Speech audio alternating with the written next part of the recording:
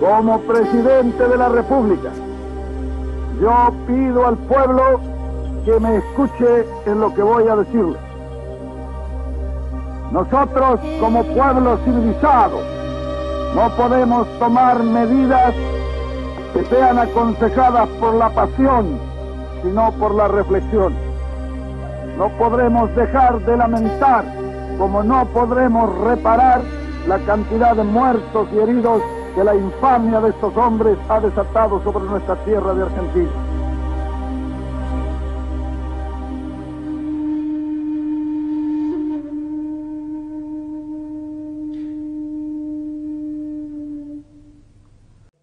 Ellos nadan en la espuma hablándonos. Esos seres que soñaban de vivencia en vivencia eran hermanos, padres, hijos, daban caricias, besos dulces y también voluptuosos. Se abrazaban antes de ir a la escuela, al trabajo.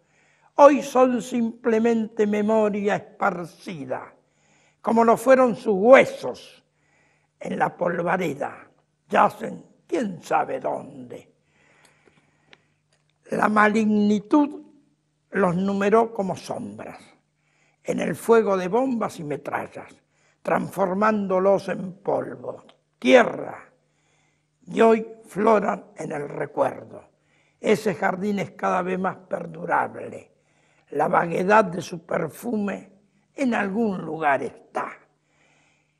Crecen en el gesto, tan remoto y tan cercano, para diagramar el espacio sangriento que la maldición instaló. Son memorias, no los han podido tapar, siguen siendo testimonio que fue y se recuerda. Nadie podrá borrar lo ignominioso. Quisieron colocarle silencio al día y se fueron al extravío.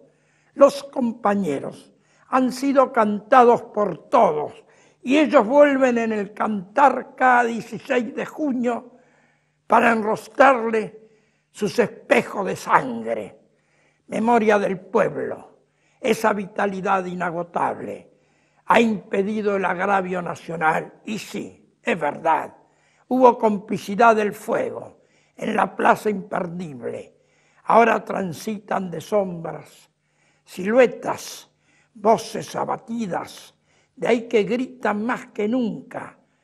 Son los compañeros del pueblo que lo sostienen la herida, en la penumbra de la pena. Cada 16 de junio se transforman en pájaros y cantan, cantan por nosotros.